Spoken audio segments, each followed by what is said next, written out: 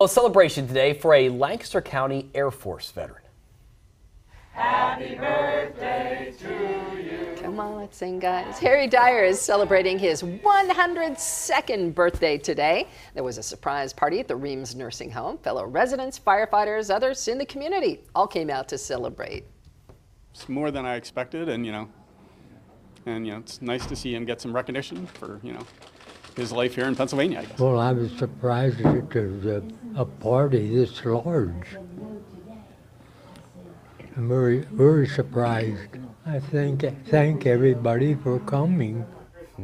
And Representative Tom Jones, you see there, presented Harry with a certificate from the State House. Harry also received a blanket from the group Blankets of Honor. And organizers also had a goal to have 102 people send cards to Harry. Again, he's turning 102. Harry got 150.